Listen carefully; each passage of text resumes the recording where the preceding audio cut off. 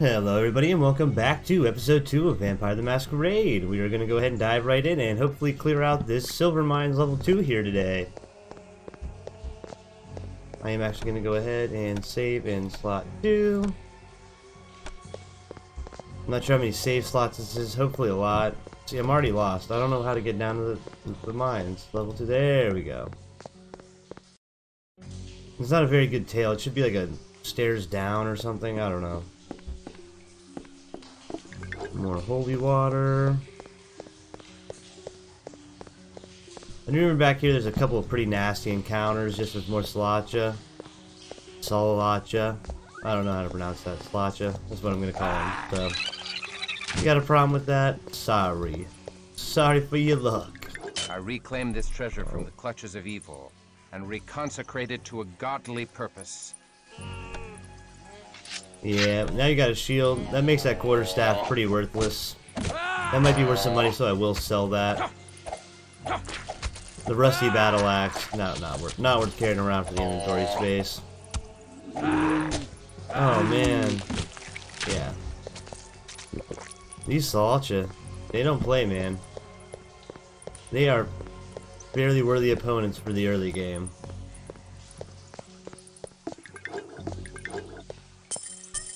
Then again, we are uh, just a regular ass human, and they are power infused vampire ass creatures.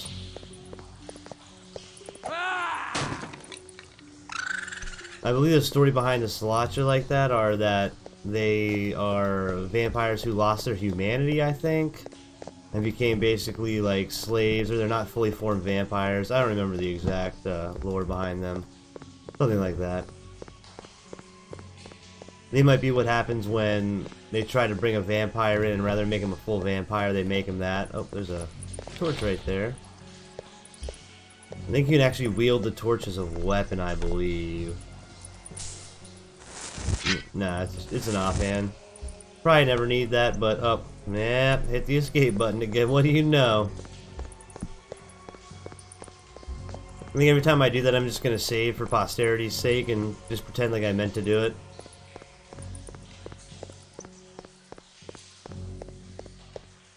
Obviously I don't.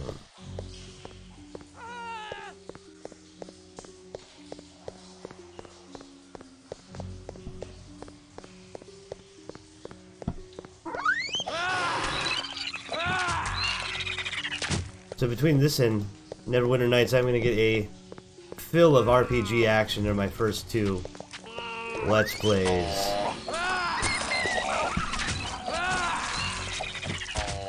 This game's much shorter than Neverwinter, if I recall correctly. But it's still a heck of a lot of fun.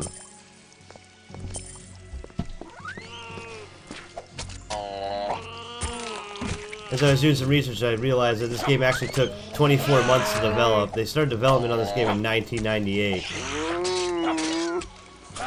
And they actually didn't get it finished until, of course, 2000. But it was worth every minute. Oh, there's a dagger on the ground. Oh man, these rats just keep popping out these holes.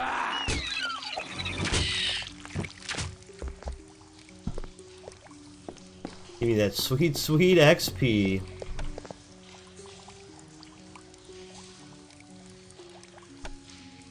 I think what you can do with XP is rather than level up in the traditional sense, you actually just get XP points and spend them freely as you get them. But I don't think we can do spend XP yet. At least we haven't been told we can. And I don't see a way how to yet.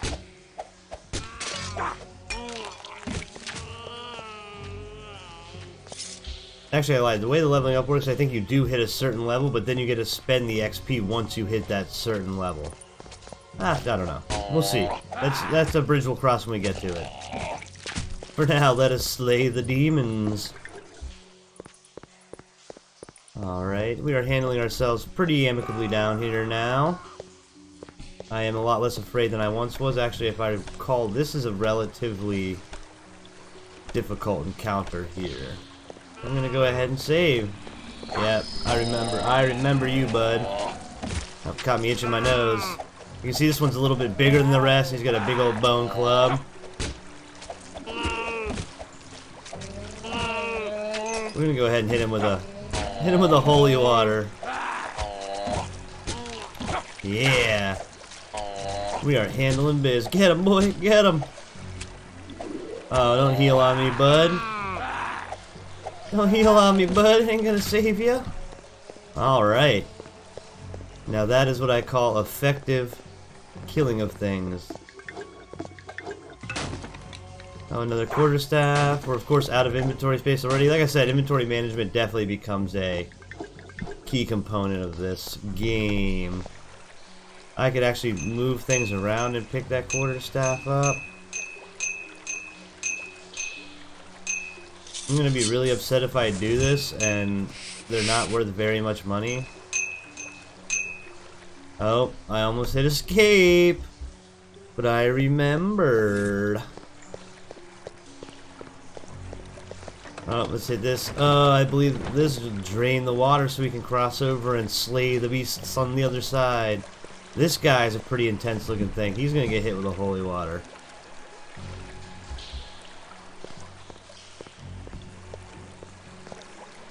Is it draining or... Okay, it is, okay. I just saw that texture pop up and I was like, is it draining? It's kind of hard to tell.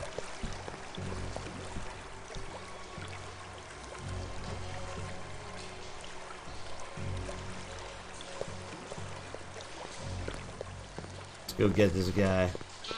Holy water, bud. It's a war ghoul.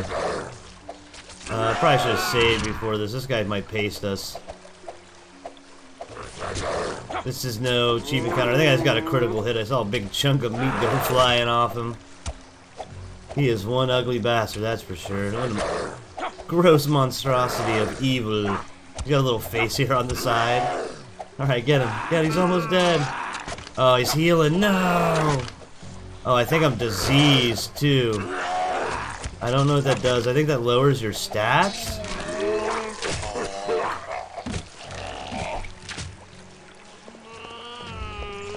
I certainly hope it doesn't. After I kill these Solacho. Salcha.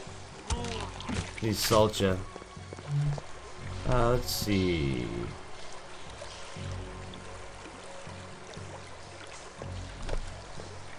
Don't know. I don't know what that is. Am I just gonna like keel over and die? It has been many moons since I actually played deep into this game. The first episode you saw me overwrite a game, I think I was about 8 hours in. Which is pretty far, but... Ooh, critical hit, baby! I'll slay with my righteous blade. Oh, come on. Let me say bottleneck those two. Oh, pasted, bud. Now that's what I call killing things effectively.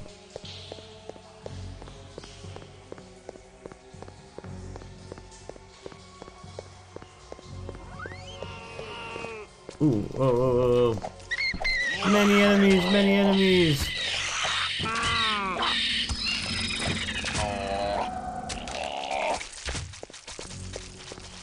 Oh, here we go. Was there actually... Oh, yeah, I was gonna say, is there a way up there? Because they're probably... Oh, look at this guy trying to hide from me. Come here, you walking mound of XPU.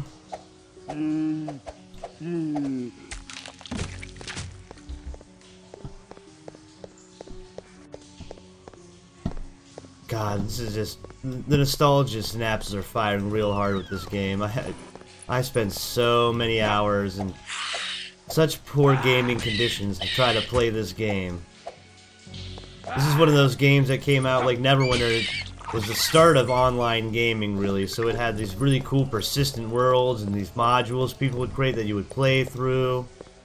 Between this and Half-Life, that was like my major youth gaming. Uh, maybe I will do a Half-Life playthrough too, just the original Half-Life, Opposing Short Force, and Blue Shift. God, I had so much fun with those games. Perhaps once I finish Vampire. Vampire will be done quick, so... Oh. Drink your potion, bud. Oh no, oh no, you're getting pasted. Run. Run. Oh, oh no. I had a feeling that was gonna happen. Well, thank the gods we saved not too long ago. I can't believe we killed everything in this room and then got pasted by a couple of rats. Like, just, just my luck. Come on, get a crit, baby. Get a crit. Get this guy. Oh, get this guy. Oh, nice. Healing again.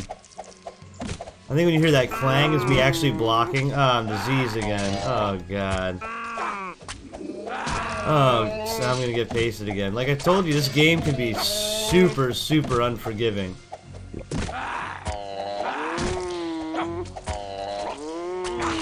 Especially at this point in the game, too, when you don't have access to reliable healing.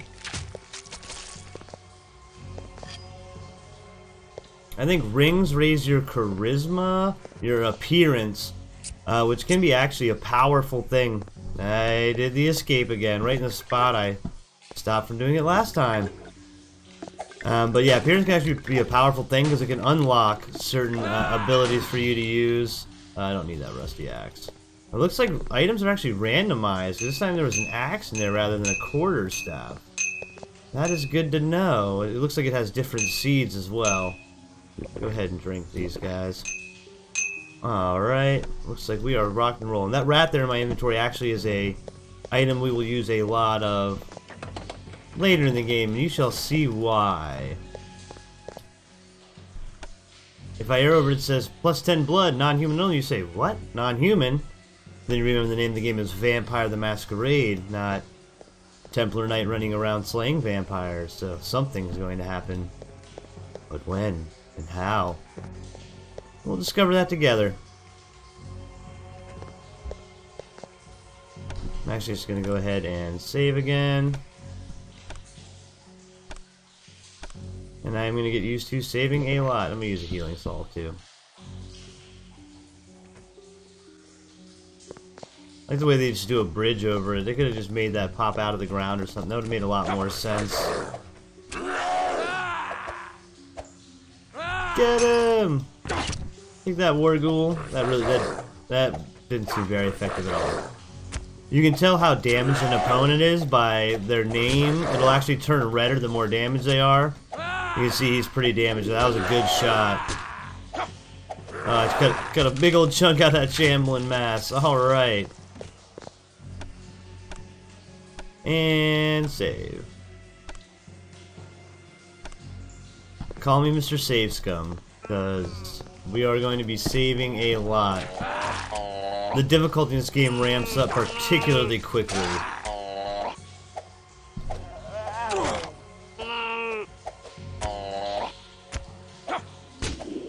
Oh, get them, boys. Oh, get them, boys. Alright. We're still in, in, in, okay health. A rusty dagger, that'll be vendored, of course. We don't need daggers. I don't think there's any dual wielding mechanic in this game, which would be really cool if they had. I would love another Vampire the Masquerade game. I never played Bloodlines because I wasn't the first person shooter. But I saw, I watched Ghosts LP on it, and I really enjoyed that. I may have to uh, play myself at one point.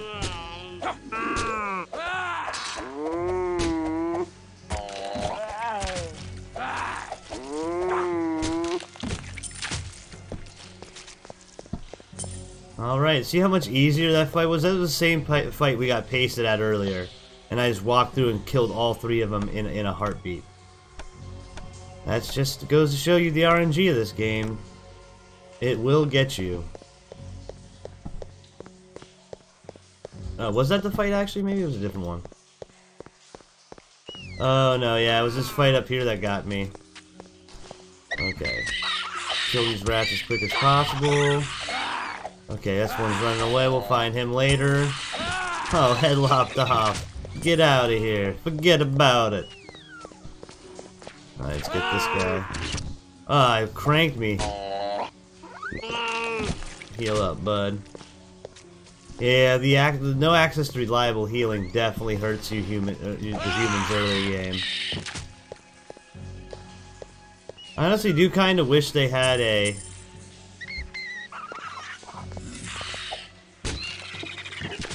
play through the game as a, a, human option?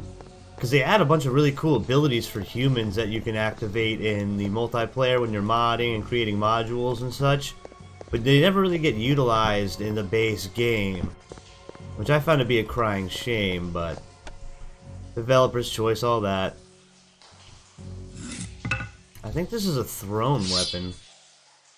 Accuracy 30 accuracy 0 let's see what happens in all the years I've played this game, I don't think I've ever actually used the stake. So. Well, so far it seems pretty effective. It being more accurate will probably, even though it deals a lot less damage, it being more accurate will probably overall allow me to deal more damage. I mean, I'm not hating it. It only does 5 damage. It does 25 damage less, but I feel like I just paced those things way more effectively. I gotta watch those side mouse buttons. They mess with the view, and they're very easy to hit on accident. Okay, so come on, guy. Come on, guy. Uh, barrels the break, I'm sure. Yep. Give me a long sword of smiting or something. Oh no, another. This is a rusty dagger. Here you go, and some rags. I already got. I don't need rags. Get the rags out of here. Some gloves would be nice. I'm not sure whether you wear two individual gloves or a set of gloves. I think it's just a set, but we'll see.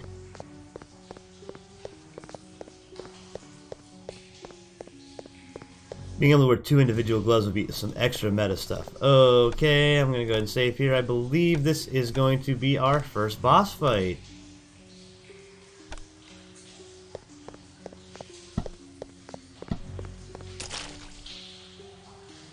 Uh, really?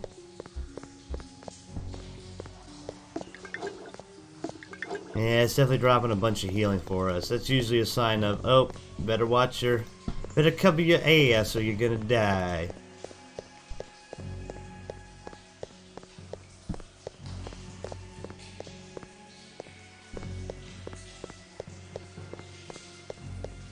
Blasphemy!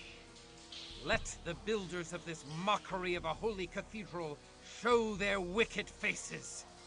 Out, blaspheming wretch! Taste the steel of righteousness! I am Alzra, the Unliving and I bid thee welcome to my domain. Although I have found thee an inhospitable and ungrateful guest. God strike thee down, I want to say that she's... A cursed creature! Earth has no room for such as thee! I'm just gonna talk over Verily, all the voiceovers the whole game. With every passing day our numbers swell. We shatter all defenses and corrupt all Ultimately shall rule all the frog, and everyone, mortal and Cainite alike, will tremble at our coming. Hellspawn, the purity of the holy places protects them from thy evil. Purity can be sullied, and holiness can be defiled. The Methuselah of Vysehrad shall awaken soon. Ye shall defile all that is pure, and leave corruption his way. In defilement lies his strength. Purity is sweet meat to him, as thy rich blood is sweet wine to me. Die, thou damned beast. God hath spat thee out of heaven in ancient times, and now I scourge thee from the earth. Die, and burn far from the sight of God. I think she's a Malkavian. Uh, there's a bunch of different uh, vampire races, uh, and each vampire race has its bonuses and detractors and different access to skills and spells and whatnot. And Malkavians, I think, are good at magic, but their vampire things eventually drive them insane. Their vampire gift. Man, she is pretty immune to this stake. I might have to bust out the sword again. I just feel like I never hit with a sword. I'm doing alright. Let's crank her with the holy water. oh, wow.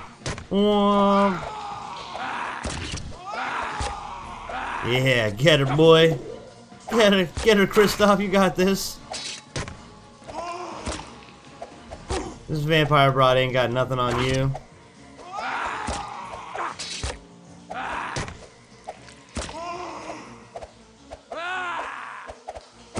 I need I need a big crit or something.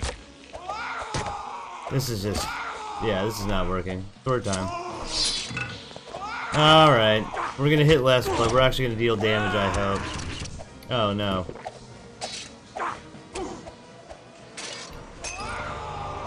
Yeah. Oh, she's healing again, but I'm doing I'm actually doing damage now, so her healing's not truly counteract Oh no! Man, this broad is not messing around. Oh no. Jesus, I forgot this fight was so hard. God. Oh, how does she keep healing? How is she not out of magic yet?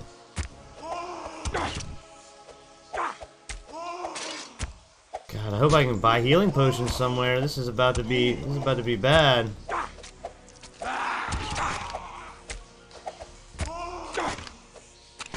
Oh, come on, Paster, dude. Paster, you got her. No! You've got to be kidding me. Let's go ahead and heal. I know. Oh, yes! I offer thee no last rites.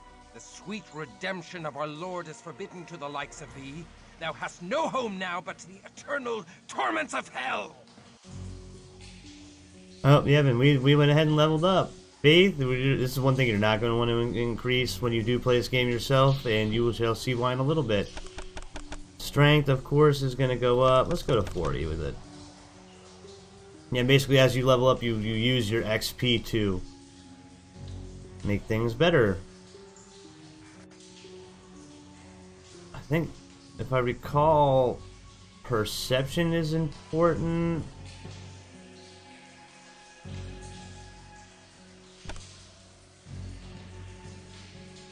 Uh, I wish I could take that back.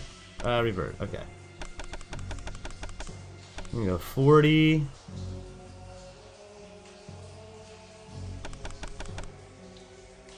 Thirty.